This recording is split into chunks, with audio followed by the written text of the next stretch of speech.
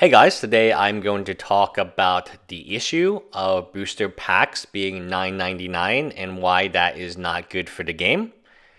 Before we begin with that issue, I do want to commend Wizards of the Coast with their new master set. It looks like we may get two master sets a year, and we may have duplicate print runs on each master set.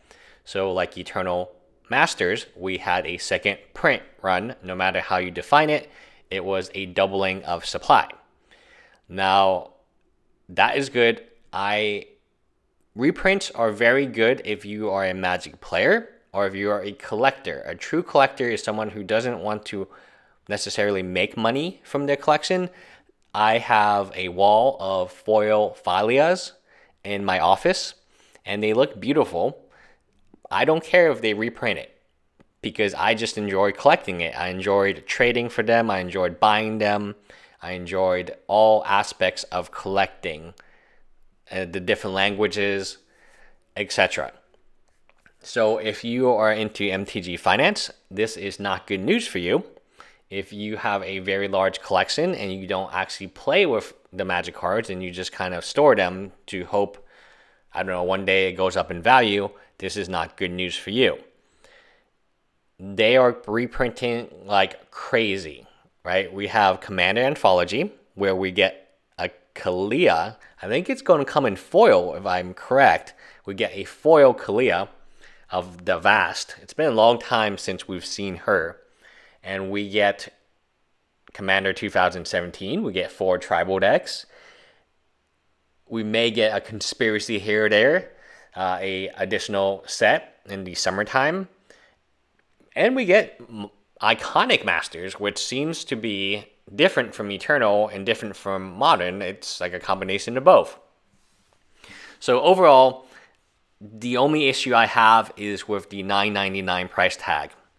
Why is this such an issue? It kind of hampers the ability for players to actually get cards, and honestly, it's just a tad bit greedy. So when Modern Masters 1 happened, it was $6.99 a pack, but given it was the first product of its type and the fact that the supply was exceedingly limited, what happened was the packs were selling for $9.99, $12.99, although the MSRP was $6.99. Now, Wizard of the Coast has controlled the MSRP, and you can get boxes for under $240 quite easily of Eternal Masters or Modern Masters 2017. That is a big win that a store, a local store, is not able to gorge or sell online their product for $300 a box like the original Modern Masters. They are more willing to allow the people to draft. And that gets to my concern. If this is a draftable format, $9.99 a pack means it's $30 a draft, right, at retail and whatever the price support is, maybe it's half a price, half a pack, five dollar price support. Maybe it's just a really crappy FNM promo. Regardless, at thirty dollars a draft, just for your packs, that's too much. Most Magic players are not going to be able to afford that, and even if they were able to afford it, it might just be better to do a ten dollar draft. Or uh, my locals, we have ten dollar drafts, and they go very well. So I see the solution to this problem being to make these packs $6.99. That is my solution. I think a lot more, more people would buy it. They would sell a ton more packs, maybe their profit margin. It's got to come down to calculation. They have to be able to sell more packs to make up for the larger $3 in just essentially money that they get from selling from $9.99 a pack.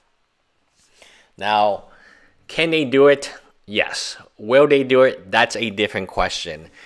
Overall, I've seen a, a trend, and the trend is the secondary market is absolutely gutted. We finally see Tarmogoyf, want a version of Tarmogoyf for under $100.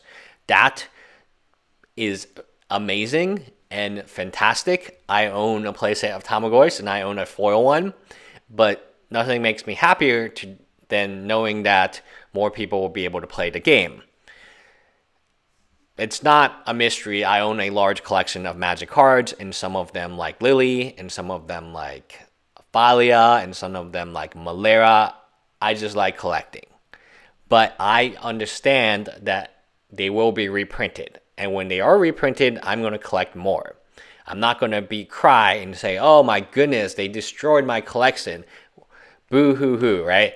No, I'm going to say, "Cool, I can start collecting more." And that's the difference between a collector and a speculator.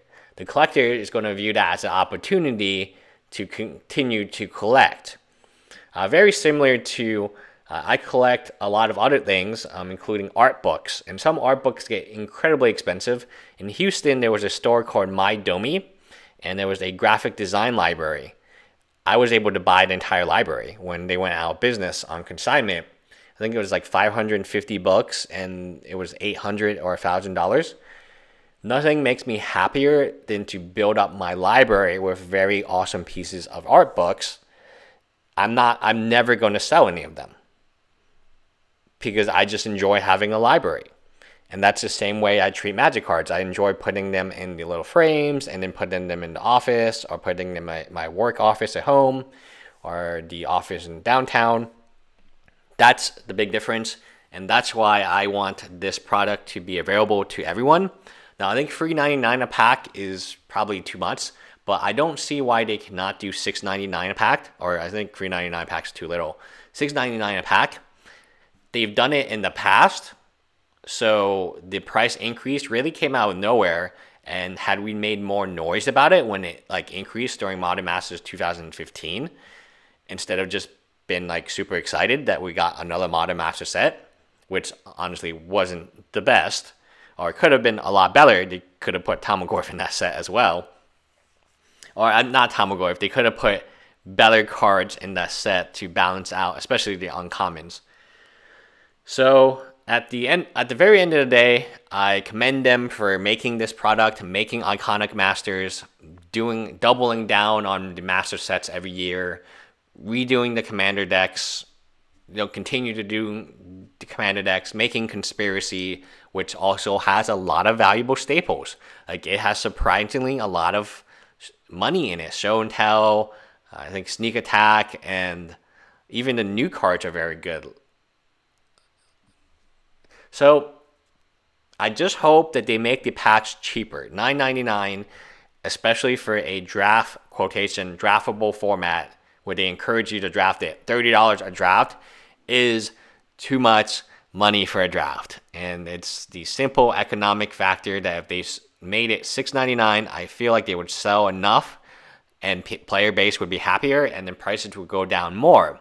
The only reason we have not seen a $50 Tarmogoyf is due to the sticker price of $10 a booster pack. There are plenty of unopened boxes and from all the major retailers. Plenty. If you made it cheaper, people would open more of it, and then there would be more singles, and therefore the price of the Tarmogoyf would go down. That's just one example. Overall, I commend them. Prices have tanked like crazy. Uh, when I mean prices have tanked like crazy, the 15 to 20%, I consider that a lot, given the fact like the enemy fetch lands, you have to buy them in four. You have to buy four of them to use a lot of these cards like Lily, Snap, you need four of them. So any percentage saving is compounded by the fact of just the sheer amount that you need of each of these cards. It's not like you can just buy one, maybe for idiots, but in modern, it's not like you buy one Tarmogoyf and like, cool, I can put this one Tarmogoyf in my deck. If you're going to buy one, you're probably going to commit to four uh, if you don't already have the additional ones to make up for it. If you do have two, then you're probably going to commit to two, and you're like, okay, I have two, and there's two at a cheaper price. So overall, I'm very happy that the secondary market is the way it is. I feel like this will be a trend to continue on. Wizards of the Coast, as well as the new CEO, Chris Cocks. I bet you he's looking at this from the perspective of why don't we just sell packs? Because that's how we make money. And then people, oh no, we can't put the cards in. We cannot put the Tarmogoyf in the Modern Master 2017. Too much value. We can't put the Damnation in. I mean, I would just say the biggest change is we got Damnation. How many times did people complain about Damnation? And then finally we got a new CEO and we have Damnation as a non-mythic. And Lily. People were afraid that Damnation meant no Lily. But why can't we have both? Why can't we have the fetches too? I mean, for iconic masters, why can't we get 10 fetch lands? Like it's ten dollars a pack. That would be amazing. ten rares at over ten dollars would be so sick, right? Like it would be a ton of fun if it was just like land. if it was the filter lands, 10 filter lands, 10 shock lands. And again, I own a lot of shock lands and I'm trying to build like a poster of them. So go, them going down, them tanking in price, I'm totally okay with. And Iconic Masters might include shock lands because it are filter lands. Because everything else has been reprinted. Why not?